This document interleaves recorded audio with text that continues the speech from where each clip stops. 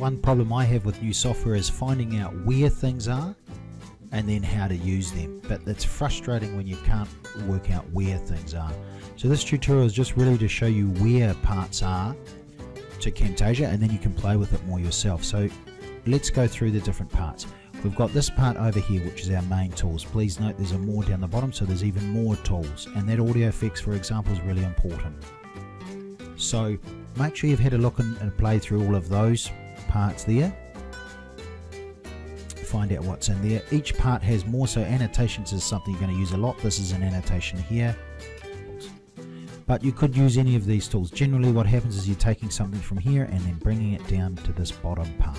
Uh, here's some more information about the tools and over here is even more information. You see it's giving you directions to click on it. When I click on it here you'll notice that more information's just popped up over here which I can now adjust this shape here.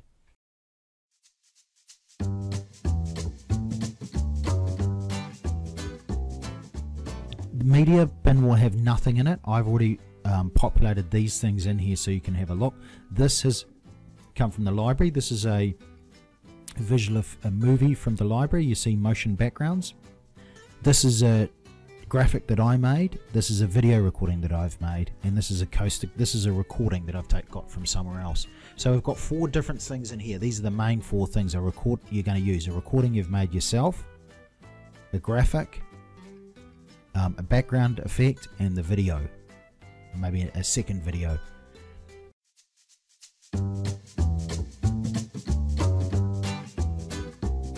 down the bottom here is a key bit. This is when things happen. So when you're using video editing software you need to think about when things are happening.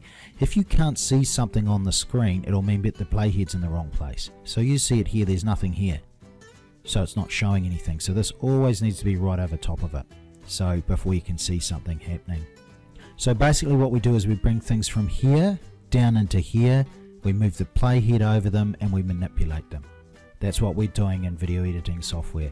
So this is an annotation which I've brought down into here. Let's bring another graphic in. I'll just bring that in and drop it down in here. So here there's going to be nothing. So I want them to line up. I'm going to move them around there. I can zoom in and out from here and we can see there's this transition happening on that one. So as I pull my playhead over the top, you'll see one fading into the other. Now I can also, it's the same thing with a video, put that over the top, and you, this is in front of and behind. So as you see it, at this stage, it, the video is playing behind it, and now that stops, so the video is there.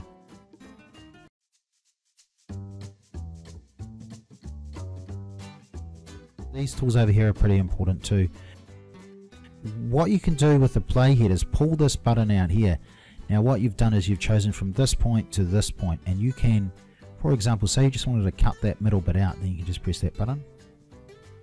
You see it's cut it out and it's actually left a little shape in there showing you where it had cut it. Another thing you can do is you might want to split the track in half. So then you're going to use this tool and split it in half here and here. Overlap them a wee bit, come back like that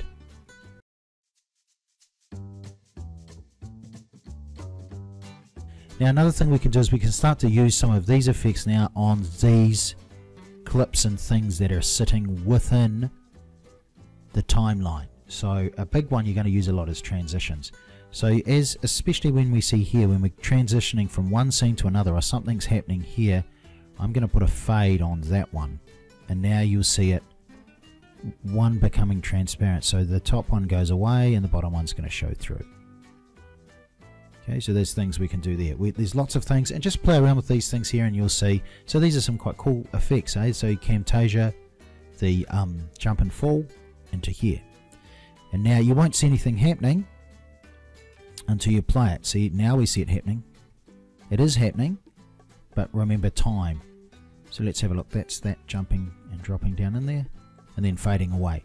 And now that effect has been added into here. If you click on this little arrow, you're going to see it underneath, jump and fall.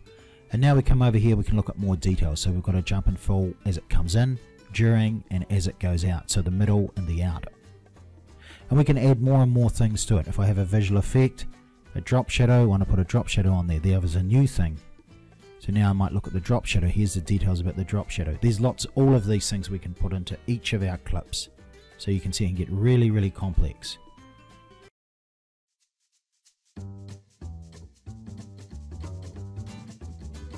So finally, go and play. Just play around with those things. When we when we have a face-to-face session, we'll talk about what what you found, what you couldn't do, any questions you might have. But remember to have a look around here, bring some things into here, drop them into the timeline, play with them over here,